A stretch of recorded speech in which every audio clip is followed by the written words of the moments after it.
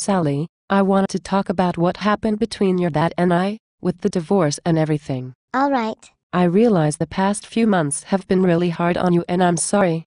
I handled it very wrong. Did I do something wrong, Mommy?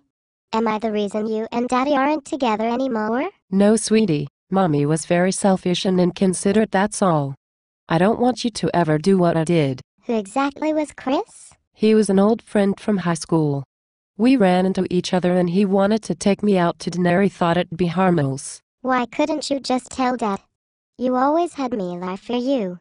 Whenever Dad would go away for a business trip, you would see Chris, never when Dad was home. When Dad came home and asked you what you did, you never told him about Chris. I don't understand. I was trying to protect your dad by just not telling him. I knew it would hurt his feelings and that what I was doing was wrong. In an article called Parental Relationships in Fragile Families in the journal titled The Future of Children by Sarah McLanahan, I read that 10.4% of married women can't be trusted, unfortunately. Why did you do it in the first place? I don't know to be honest. In my mind I was just having dinner with a friend from high school. Then we just kept going to more and more dinners and movies and things got complicated. It was very wrong though, don't do what mommy did. You left me, Mommy. Why did you leave me?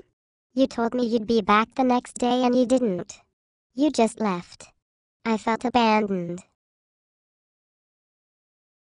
I just had to get away. I had to figure out what I wanted and reflect on what I had done to you and your dad. I never stopped loving you or your dad. I'll always be here for you, no matter what. To give you an idea, I read an article titled The Impact of Divorce on Children in the Journal of Marriage and Family by David H. Demo and Alan C. Acock, that 70 of white children will live with one parent for some period of time prior to age 18. It didn't feel like you loved us. I was such a happy 10 year old, and now I don't feel like I can't trust you. We never know if and when you are going to leave or if you'll marry someone else. I feel bad for Daddy. I miss you and Daddy together. It's hard to explain, honey. I love your dad as a person, but I'm not in love with him anymore. Sometimes that just happens with two people. However, I shouldn't have handled it the way I did and I regret it. I heard Dad ask you not to see Chris anymore though. After you went to dinner the first time, you promised Dad you wouldn't see him again. Then the next time Daddy went away, I watched you get in Chris' car. When Dad asked you about it later, you lied to him and said you didn't see him. I know, I'm sorry you had to hear all that. I'm sure it bothered you. It really did, Mom. I thought it was my fault.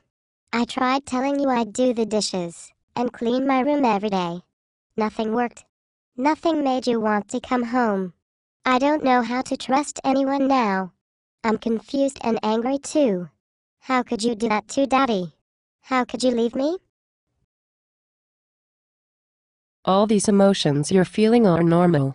I'll never forgive myself for doing this to you or your father. I know the divorce itself is hard on you. I read an article called The Consequences of Divorce for Adults and Children that's slightly on Journal of Marriage and Family by Paul R. Amato, that more than half of all divorces involve children under the age of 18. You're not the only kid going through this so don't feel alone.